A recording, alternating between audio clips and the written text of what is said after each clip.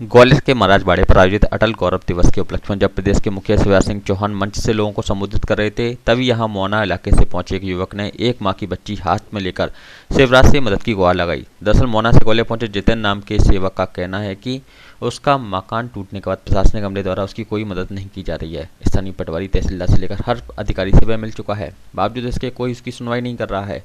ऐसे में महाराज बाड़े पर अटल गौरव सम्मान के दौरान युवक पहुँचा और एक माँ की बच्ची को अपने हाथ में लेकर शिवराज से मदद की गुहार लगाने लगा।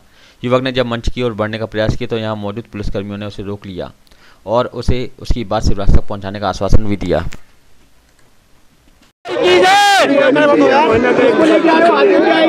मेरी बच्ची है। एक महीने की हुई है मेरी बच्ची।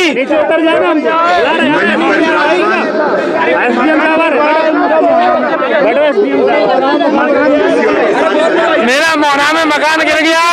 ना मेरी पटवारी साहब, ना एसडीएम साहब, कोई नहीं सुनता। मैं कई साल से चक्कर काट रहा हूँ। कोई नहीं सुनना है मेरी भाई साहब। मैं बहुत दुखी हो चुका हूँ। मेरी बच्ची छोटी सी है। मेरे माँ बाप नहीं है। मेरा कोई नहीं है इस दुनिया में। मेरा नाम जीतेंद्र है और मेरा छोटा सा